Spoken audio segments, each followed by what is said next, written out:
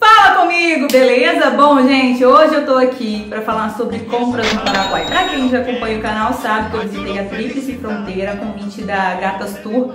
A Gatas Tour, que é uma empresa, né, uma agência de viagens lá de São Paulo. Recebi esse convite da proprietária da Agatha Rodrigues, Agatha Rodrigues, que me convidou para fazer essa viagem maravilhosa. A gente foi em Foz do Iguaçu, Paraguai e Argentina. Então no segundo dia a gente foi no Paraguai, então vou fazer esse vídeo para vocês mostrando todo o roteiro, onde a gente visitou. Mas eu quis fazer esse vídeo só das compras para mostrar para você o quanto compensa viajar para lá e fazer essas compras lá, se você estiver precisando de alguma coisa, principalmente perfume, é, cosméticos, eletrônicos também compensa bastante. Então vou mostrar para vocês o que eu comprei lá, infelizmente eu não consegui comprar o que eu realmente eu queria. Eu queria comprar uns eletrônicos, estava em falta na loja. É, mas aproveitei e fiz outras coisas, né? Comprei outras coisas que eu também estava precisando, tá bom?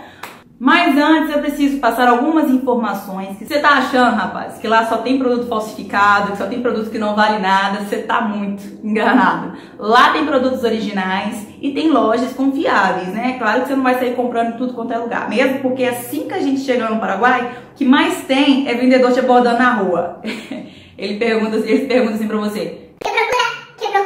E aí você fala: Não, não quero nada. E aí eles vão insistir, eles vão te oferecer muitas coisas. Deus me defenderá. Eu sempre andar com alguém, não ir sozinho, não, não me senti tão insegura lá, mas eu já ouvi relatos de gente que já foram aí alguns anos atrás e passaram por algumas situações assim desconfortáveis, né, e até mesmo perigosas, mas eu me senti muito confortável lá, eu vi muita, muita polícia na rua, em alguns momentos eu até andei sozinha, mas eu não recomendo. Pergunta, ah, Rebeca, mas se lá tem produto original, por que, que é mais barato? São os impostos? Não só isso, gente, não são só os impostos, não. Vou explicar para vocês. Lá no Paraguai, a logística e a distribuição dos produtos influenciam também no preço. Os produtos precisam percorrer um longo caminho para chegar até as lojas aqui no Brasil e, portanto, cada passo os custos aumentam. Como no Brasil o território é extenso, os custos aumentam com a passagem em rodovias, portos e aeroportos. Já no Paraguai, o caminho é mais curto e assim os preços para o consumidor final são menores. O processo de importação no Paraguai também é simplificado, rápido e os impostos são bem menores do que aqui no Brasil. Outro motivo é que também lá no Paraguai as compras não podem ser parceladas. Não vai achando que você vai lá e vai dividir 10, 12 vezes, 48 vezes, igual aqui no Brasil, não. Lá você tem que pagar tudo à vista. E se você for comprar no cartão, toma cuidado com o IOF, tá, gente? Às vezes não compensa. É importante também você ver a cotação do dólar. Mesmo assim, o dólar, eu fui lá agora dessa vez, estava cotado a 3,77. E ainda assim compensou, viu, gente? Gente, outra vantagem é que algumas lojas é, oferecem garantia dos produtos, tá? Então, depois que eu voltei para o Brasil, é que algumas pessoas da excursão me disseram isso, que compraram o celular lá na loja e eles deram uma garantia para trocar em lojas aqui no Brasil, se tiver algum problema. Olha que legal. Qual que é o limite de compras? Não vai achando que você vai lá gastar o mundo, que você vai, né, levar uma boa grana, você vai poder gastar tudo e voltar tranquilo aqui no Brasil. Não é assim. São 300 dólares, tá? Mas vamos falar o que interessa? Vamos falar sobre as compras que eu fiz lá no Paraguai para a gente fazer um balanço aí para saber se compensa ainda assim viajar para comprar, né, para passear e comprar, né, porque eu não fui só para comprar, foi para passear. Bom, gente, uma das lojas que eu fui lá que é muito bom para comprar perfume, cosméticos, é, maquiagem nem tanto, mas é bom para comprar perfume e cosméticos foi, foi a Elegância. Lá na Elegância eu comprei esse perfume aqui, que é o Chuanchu feminino. Bom, gente, aqui no Brasil esse perfume 60ml, mais ou menos, ele sai por 400 reais. E lá eu consegui comprar por 44 dólares. Enfim, lá no segundo andar no Outlet, eu consegui comprar esse combo da Alce que estava em promoção. Eu consegui comprar por 400, não, 400, por 4,99. 400, caramba, né?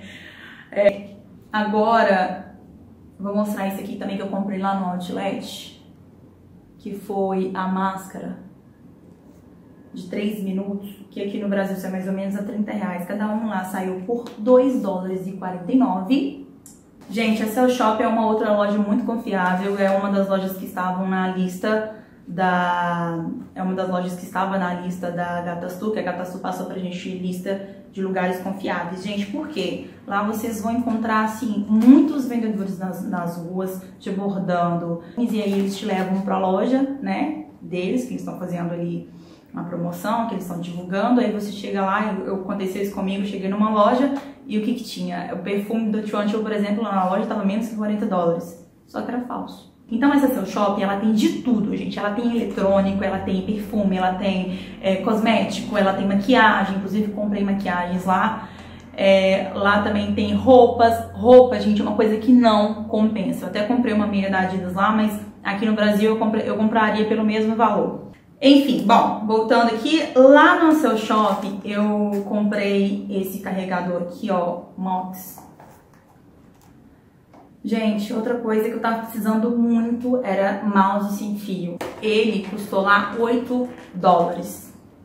Ele é o Clip Extreme, Extreme, não sei, cada um fala o jeito que acha melhor. Control the match by keep playing the left, the right. É que, por que que é importante você saber as lojas aí para poder comprar, né? As lojas são confiáveis. Por exemplo, celular. O próprio pessoal da, Gata, da Gatastur me disse que era, é, aconteceu muito das pessoas não seguirem as orientações deles, né? As pessoas que vão na excursão. E aí comprar um celular no camelô ou em alguma outra loja que não foi orientado, que não foi recomendado. E aí chegar aqui no Brasil, abrir a caixa e dar de cara com um tijolo. É, meu cara.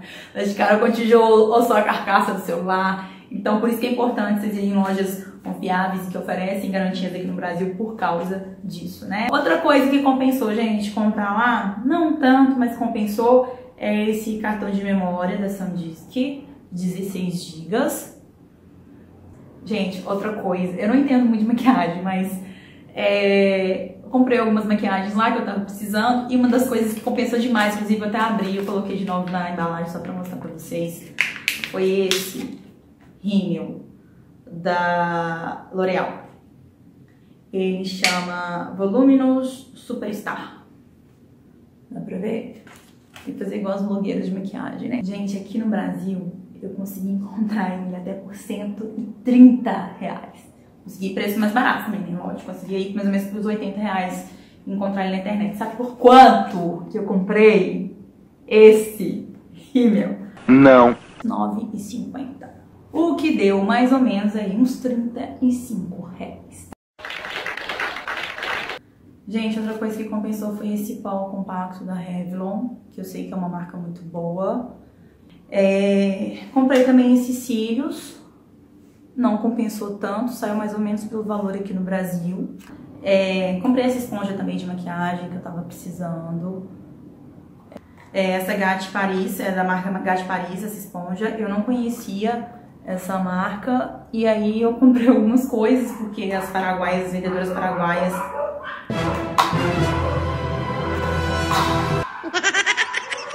esses cachorros não deixam falar quem me orientou a, a, a, comprar essa, essa marca foi a vendedora. Ela falou que em questão de custo-benefício é muito boa. E aí, quando eu cheguei aqui no Brasil, eu fui pesquisar. Realmente, ela é uma marca francesa. Bom, gente, esse blush custou aí cerca de 26 reais lá. Aqui no Brasil sairia cerca de 40 reais. E eu comprei também esse delineador. Dá pra ver? Não. Ou seja, sair no prejuízo, tá? Nem tudo compensa lá, então eu tô sendo bem sincerona pra vocês aqui, o que compensou, o que eu levei de lucro, o que eu não levei, porque acontece. Gente, uma outra coisa que não compensou comprar, mas que eu não saí no prejuízo, porque aqui no Brasil saiu o mesmo valor, é esse pack de meia da Adidas, dessas meias aqui. Outra coisa que eu comprei lá, gente, que tá precisando muito, também pra poder conseguir trazer as coisas, porque pesou a mala, por incrível que pareça. Essa mala aqui, olha o tamanho dessa mala, gente. Olha isso, tamanho médio. Quem é a mala de Neymar? Bom, perto da minha mala Paraná.